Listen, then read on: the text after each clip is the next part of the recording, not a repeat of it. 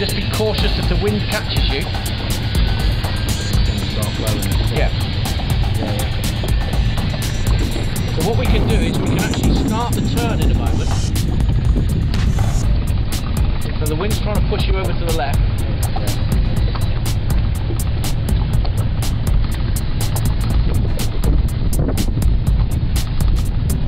So think about a nice sweeping arc. If you get this right, you can just do it in one go. Trust me, I'm a doctor.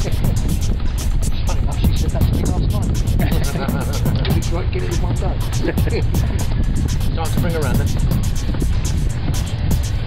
Because don't forget, she wants to turn that way anyway. So The breeze is helping as well.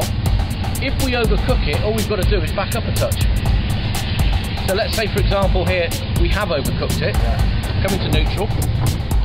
Hard left, reverse gear at the same time.